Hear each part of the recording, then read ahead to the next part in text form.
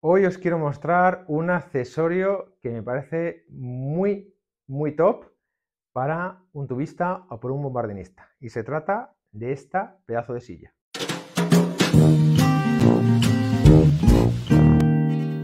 Ya sabéis que uno de los aspectos más importantes cuando tocamos sentados es la posición del cuerpo. Y es verdad que el instrumento a veces pues, no lo favorece. Entonces, esta silla nos facilita muchísimo tener una correcta postura al tocar. Y ahora os voy a mostrar en detalle las características de esta silla. Bueno, lo primero que vamos a hacer es ver en detenimiento las partes más importantes en las que se divide esta silla, que son cinco.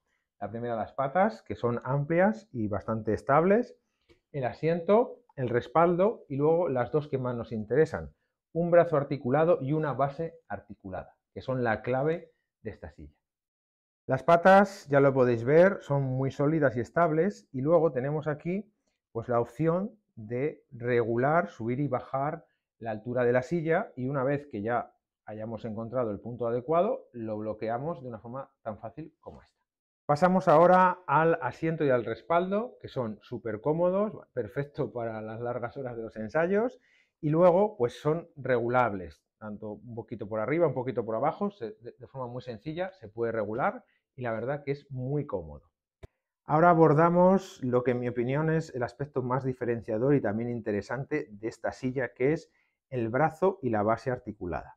El brazo articulado, como podéis ver, se puede subir y bajar todo lo que necesitemos y una vez que hemos encontrado nuestra posición, vamos a apretar esta palomilla que está muy bien diseñada porque es un engranaje dentado que una vez apretado hace que esto ya no se mueva. Abordamos ahora la base articulada, que como veis la podemos mover arriba y abajo del brazo articulado en diferentes agujeros, dependiendo un poco de nuestros intereses. La verdad que está muy bien, ¿vale? Puesto.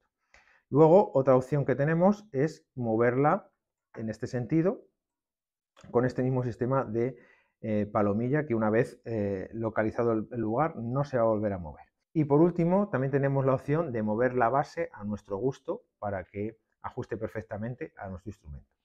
Interesante recalcar que eh, esta silla fue diseñada inicialmente para saxofones, pero que como veis se adapta perfectamente a tocar la tuba o tocar el bombardino.